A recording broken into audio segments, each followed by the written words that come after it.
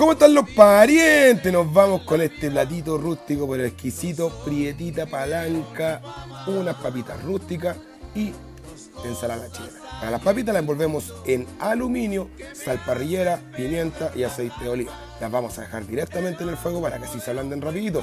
Las pretas, ¿de quién son? De los amigos de Quincho de Rengo. Espectaculares productos muchachos. Y estas ya vienen cocidas, así que solamente es calentar. La palanquita yo la voy a tener 8 minutos por cada lado y luego la vamos a sacar a reposar. Vamos armando nuestra ensalada chilena. La cebolla yo la mochihué con agua caliente y azúcar. ¿Para qué? Para que así no se te repita. El cilantro jamás te puede faltar en la ensalada chilena. Una vez que esto ya lo tenemos listo y la papita está blandita, nos vamos montando en nuestro platito y mira cómo sale esa palanca, pues pariente. Y aquí yo te voy a decir, me vine a criar los dos vicios y lo chito probó. Y con el regalito de aquí de Don Luis de los dos vicios, ¿qué queréis que te diga? Nos pasamos otra vez. Ya pasamos otra vez.